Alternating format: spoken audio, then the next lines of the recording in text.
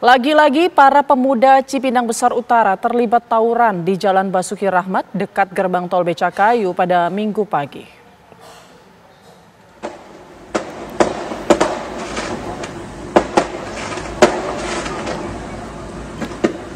Kedua kubu yang berseteru saling meluncurkan petasan. Suara ledakan yang terdengar cukup keras. Netizen dengan akun Instagram Ayu Ramdhani merekam kejadian ini dari atas apartemen Basura. Para pemuda ini juga saling lempar batu ke arah lawan. Peristiwa ini membuat lalu lintas dari arah Kampung Melayu menuju Pondok Kopi maupun sebaliknya terganggu. Sejumlah polisi mendatangi lokasi untuk mengamankan keadaan. Namun kehadiran mereka tak membuat para pelaku tawuran menahan diri. Mereka tetap saling lempar batu. Ribut antar pemuda di Jalan Basuki Rahmat, tepatnya di depan Mall Basura Cipinang Besar Utara Jatinegara, Jakarta Timur memang kerap terjadi, terutama di pagi hari. Kapolres Metro Jakarta Timur, Kombes Pol Nicholas Ari Lilipali bahkan sudah mengumpulkan tokoh setempat untuk berembuk masalah tawuran ini. Namun pertemuan yang berlangsung kemarin itu belum juga membuahkan hasil.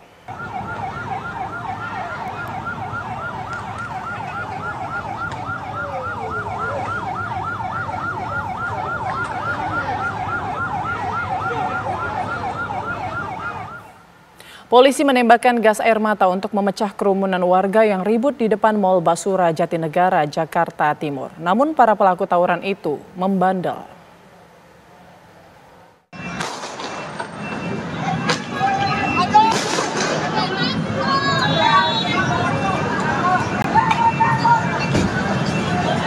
Pertempuran sengit berlangsung di Jalan Basuki Rahmat, Cipinang Besar Utara, Jakarta Timur.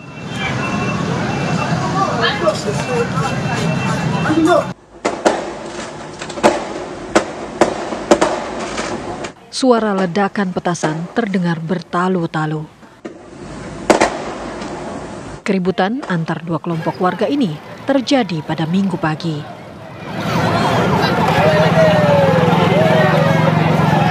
Ketika polisi datang, masa kocar kacir. Aparat menembakkan gas air mata untuk membubarkan warga. Masuk kak gas air mata tuh kak.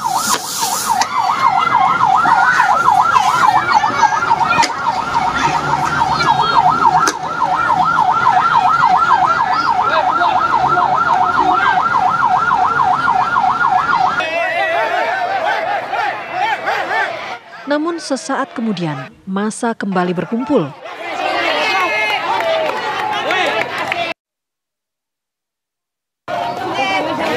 Polisi berjaga di antara kedua kubu, mencegah terjadinya keributan susulan. Penduduk setempat mengaku gerah dengan tawuran karena mengganggu ketertiban dan mengancam keselamatan. Dari jam berapa tadi bang? Kalau kejadian sih kurang lebih antara jam setengah enaman deh. Karena setiap habis dijaga petugas, nggak lama pergi pecah, nggak lama pergi seperti seperti itu. korban nggak bang? Kalau buat korban mau ada, cuman capek juga sudah berulang kali seperti ini sih. Harapan bagi Pak RT nih, harapannya bagaimana nih? Biar... Kalau buat arah ke depannya sebenarnya sih sudah dimediasi dari pihak lurah sudah kalau pengennya saya tuh ya kayak pagar pembatas ini dia agak ditinggiin ini gitu ya? Untuk mencegah awalnya. Dikasih pagar lagi. Hingga menjelang siang, polisi belum beranjak dari lokasi tawuran. Dari Jakarta, Simon Tobing, TV One, mengabarkan.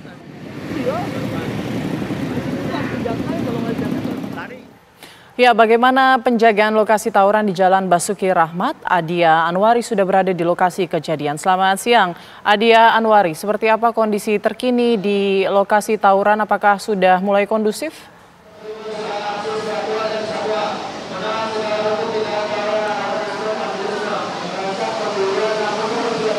Baik, selamat siang Putri dan juga pemirsa TV One. Memang tadi pagi tadi di adanya uh, tawuran begitu yang terjadi di Kelurahan Cipinang Besar Utara, Kecamatan Jati Negara, Jakarta Timur. Diduga ini tawuran ini pemicunya adalah perkelahian di antara dua RW yakni RW 01 dan juga RW 02 dan memang per, per uh, tawuran ini sudah terjadi kurang lebih satu tahun lamanya Lantas seperti apa ini sebenarnya pemicu dari perkelahian antar RW sudah bersama saya.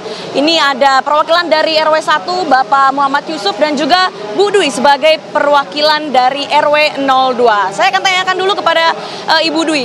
Bu, ini sebenarnya pemicu tawuran tadi pagi sebenarnya dari sisi RW 02 ini apa, Bu? Untuk pemicu saya kurang paham ya Bu, karena kan saya ibu ibu-ibu rumah tangga. Selain itu kan saya juga pedagang. Ya kalau e, menurut saya sih awal-awal asal mula dari apa kejadian apa sih nggak tahu cuma pada intinya dari kami pihak RT 0 RW 02 sering banget dihujanin petasan setiap malam dari awal pergantian tahun sampai sekarang. Dari di situ awal-awalnya juga nggak tahu karena kan di sini banyak anak-anak remaja, anak-anak remaja yang harusnya mereka nggak tahu jadi tahu mana benda yang berbahaya, mana yang enggak. Intinya saya nggak tahu kalau untuk permasalahan awalnya, tapi setidaknya ya kalau pribadi saya ya uh, tolonglah diselesaikan dengan baik. Oke. Kalau tadi dari Bu Dwi dari perwakilan RW 02 ini sudah ada perwakilan dari RW 01 Bapak Muhammad Yusuf. Pak Yusuf, kalau dari pandangan Bapak nih Pak, pemicu terjadi tawuran tadi pagi atau minggu-minggu lalu ini seperti apa kalau dari Bapak? Kalau pemicu untuk saya sebagai tokoh masyarakat saya kurang paham. Tapi saya atas nama warga RW 01 dan juga tokoh masyarakat RW 01 kami telah mengucapkan terima kasih kepada instansi pihak Kapolres, Kapolsek, pihak aparat lurah dan camat yang telah membantu mengamankan wilayah RW 01 ini dengan baik dan kami berharap kepada tim pemerintah terkait kami sebagai warga ingin meminta permohonan yang saya ajukan adalah pembatas jalan supaya tidak terjadi hal-hal yang merugikan fasilitas jalan, pengguna jalan, masyarakat. Itu saja. Jadi fasilitas penerangan, PJU, pajak, semua harus kita lakukan sebagai untuk mengantisipasi supaya tidak terjadi ke depannya ini seperti itu lagi.